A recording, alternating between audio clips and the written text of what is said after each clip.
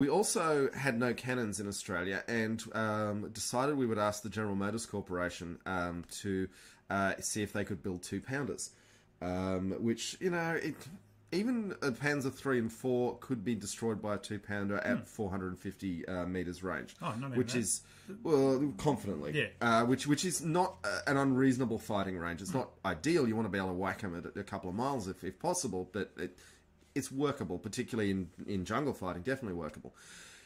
And we actually figured out because we didn't have any nickel. Turns out we have lots of nickel. We didn't know we had nickel um, back then.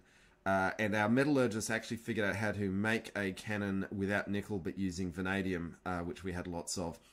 The Australian two pounder cannon, uh, if you look in the photos in the slideshow, had a stepped design along the um, the barrel instead of the smoother design of the British ones, which does mean that the um, Australian Museum of Armour and Artillery, um, where Rob's seen touching the uh, machine gun um, in, in one of our pictures, um, is not stepped.